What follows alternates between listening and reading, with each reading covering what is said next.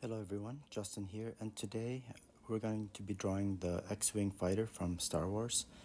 And I'm using a wood burner this time, and I'm saying drawing because I'm essentially using this wood burner like a pencil. So I'm drawing using a wood burner to basically make marks on the wood uh, just by burning it. Anyway, always start with a pencil if you're not comfortable with going straight off with a wood burner or say like a pen but here I'm using uh, the wood burner on a very light heat setting so I can get more or less lighter marks which I can always go over with darker burned marks later. And when I'm comfortable with certain areas I go ahead and just start putting in some detail and getting it getting the lines a little bit darker.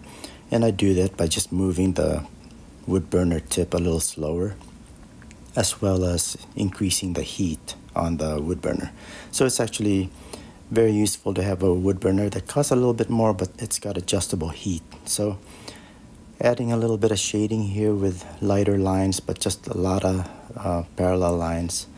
And again, once I finish this, I'll usually go ahead and do a, a darker outline, just as I'm doing right here. So a lot of perspective here, uh, pretty extreme perspective. But take your time and enjoy. Thanks a lot for watching and don't forget to sign your work. Have a great day. Bye.